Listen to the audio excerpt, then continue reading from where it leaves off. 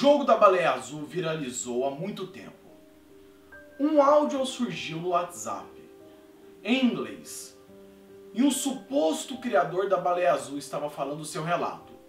Esse relato foi traduzido, então eu trouxe ele aqui para o canal. A veracidade dele permanece em dúvida, porque ninguém sabe realmente se foi o criador.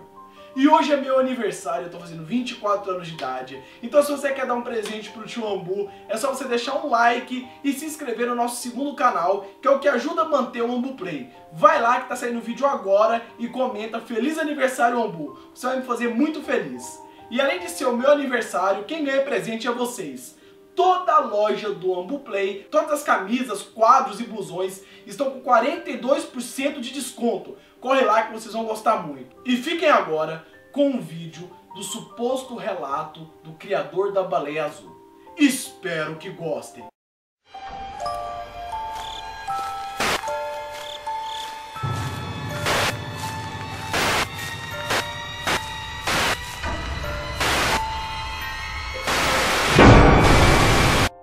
Me chamo Sam.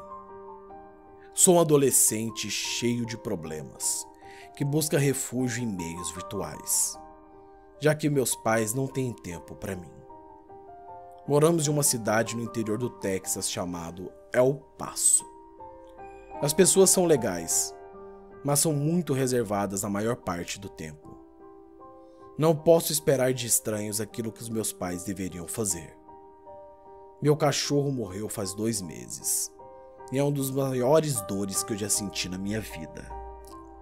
Ele era o único amigo que eu tinha nessa cidade. Foi então que eu passei a ficar mais tempo na internet e buscando formas de me distrair. Algumas pessoas comentaram na escola algo relacionado a uma rede social. Eu entrei nela, mas não achei nada interessante. Porém, graças a essa rede social, eu encontrei algo chamado sobre Deep Web. Eu descobri como acessar.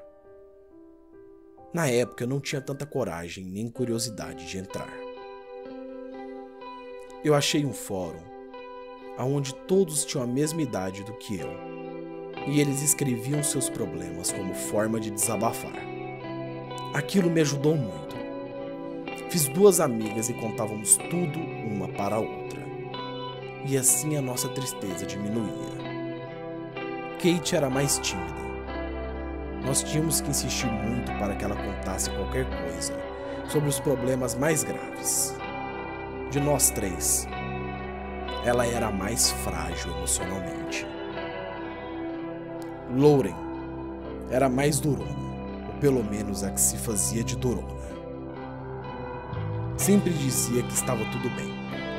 Mesmo depois de escrever um textão no fórum sobre os cortes que havia feito na perna esquerda, porque terminou com o namorado. Ambas com 15 anos. E eu, eu era mais velho, com 17.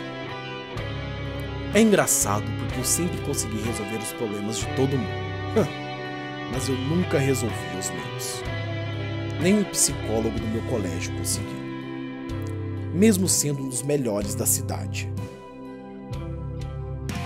Engraçado, né?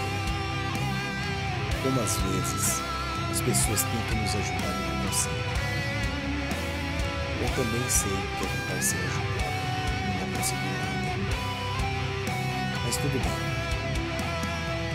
Eu não tô querendo falar sobre mim eu comecei a me interessar por psicologia, na esperança de tentar ajudar a mim mesmo. E acabei me apaixonando por tudo que a nossa mente é capaz de fazer. E também me assustando. Existem problemas maiores que os meus. Ontem eu disse à minha mãe que gostaria de cursar psicologia.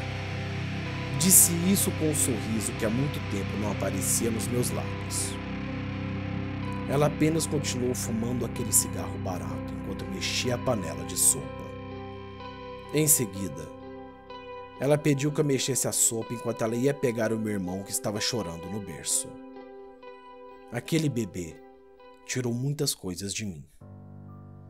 Eu cuspi no jantar do meu irmão.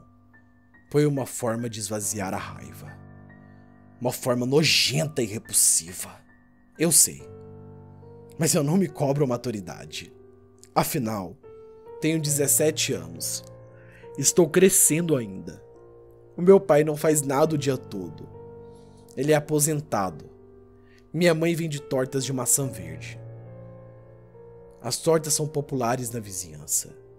Dizem ter um gosto especial. Aposto que são as cinzas de cigarro que ela deixava cair na massa.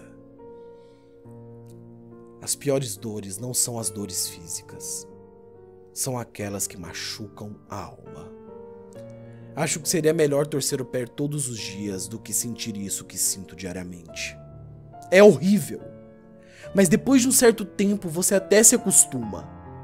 As meninas bulêmicas que conheci no fórum diziam sempre que a sua melhor amiga se chamava Mia, um jeito carinhoso de dizer que sofre de bulimia. Minha amiga se chama Dor. Ninguém quer morrer, mas aposto que ninguém gostaria de morrer de uma forma que não fosse emocionante. E por isso, eu criei o jogo. O jogo que traria as pessoas que sentem dores. O jogo que faria as pessoas se sentirem incluídas. E nesse jogo, elas se sentiriam parte de algo. Quantos possuem depressão? Quantos são tristes? Quantos sofrem bullying são abandonados pela sociedade? E é exatamente essas pessoas que eu quero. Eu quero mostrar para elas que elas podem colocar o fim em suas vidas de uma forma gloriosa.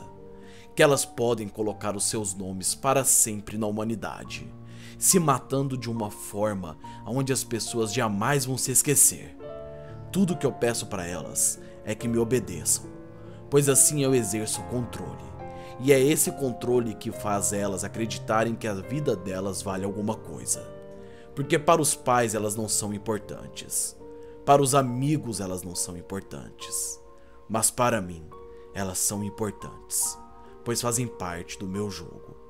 O jogo que eu criei para dar significado a essa vida vazia dessas pessoas que procuram algo a mais e procuram morrer de forma gloriosa. Meu nome é Sen e eu sou o criador da Baleia Azul.